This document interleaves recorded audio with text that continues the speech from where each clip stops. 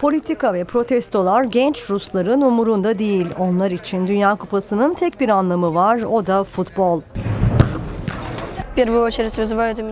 Dünya Kupası'nın Rusya'da yapılması çok heyecan verici. Rus milli takımının en azından çeyrek finallere kadar yükselmesini, hatta mümkünse kupayı kazanmasını istiyorum.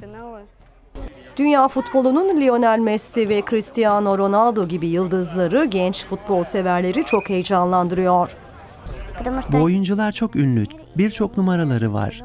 Dimitri Kolnov, Moskova yakınlarında bir futbol okulunun yöneticisi. Э, Sporun siyaset üstü olduğu söylenir. Dünyanın dört bir yanında herkesin böyle düşündüğüne inanmak istiyorum. Bu görüşe katılmayanlar da var. Dünya Kupası'na ev sahipliği yapmanın Rusya'ya 14 milyar dolara mal olduğu tahmin ediliyor. Gelir eşitsizliğinin çok derin olduğu bir ülke için bu maliyet tüm zamanların en yükseği. Rusya bu parayla birkaç dev stadyum inşa etti ve altyapıyı yeniledi. St. Petersburg'daki Krestovski Arena planlanandan 8 yıl sonra bütçesini 4 kat aşarak tamamlandı.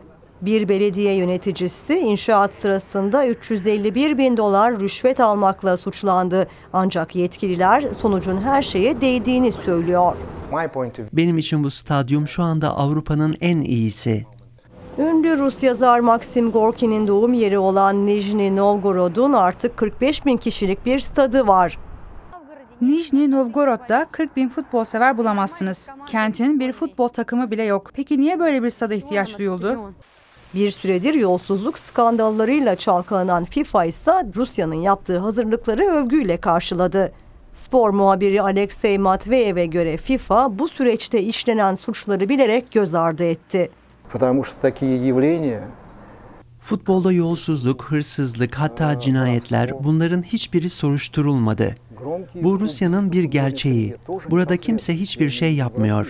Yolsuzluklara bu kadar batmış bir futbol camiası olan Rusya'da Dünya Kupası'na ev sahipliği yapma hakkını nasıl verdiler hala anlamıyorum ve çok kızıyorum. Moskova suçlamaları reddediyor ve Suudi Arabistan'la Rusya takımları arasındaki bugünkü açılış karşılaşmasında siyasetin arka planda bırakılacağını umuyor. Açılış karşılaşması Moskova'daki Luzhniki Stadyumunda. Maçı Rusya Cumhurbaşkanı Vladimir Putin de izleyecek.